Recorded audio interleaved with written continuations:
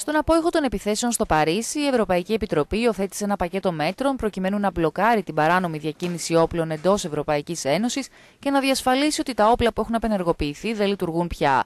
Από την άλλη πλευρά, ο Νίλς Ντουκέ, ερευνητής στο Φλαμανδικό Ινστιτούτο για την Ειρήνη, εξηγεί ότι η διακίνηση όπλων εντός της Ευρωπαϊκής Ένωσης για τις εγκληματικές οργανώσεις είναι πολύ εύκολη και τα περισσότερα από αυτά έρχονται από τα Βαλκάνια.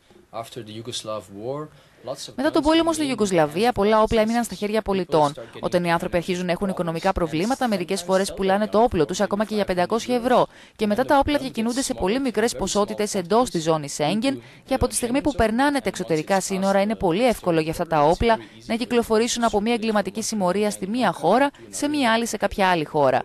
Ο Επίτροπος Μετανάστευσης και Εσωτερικών Υποθέσεων Δημήτρης Αβραμόπουλος απάντησε και στις αιτιάσει της Γαλλίας για εντατικούς ελέγχους των εξωτερικών συνόρων της Ευρωπαϊκής Ένωσης, χωρίς ωστόσο να θέτει υπό αμφισβήτηση τη ζώνη Σέγγεν.